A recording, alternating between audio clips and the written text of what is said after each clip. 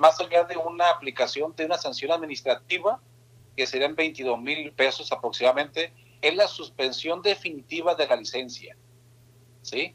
O sea, aquí radica lo más importante ante esta contingencia. Ningún propietario encargado de un negocio, de todos los giros que hay en el Estado, puede abrir ese negocio eh, hoy que está la suspensión. Y si lo hiciera, sería acreedor a esta sanción, ¿no?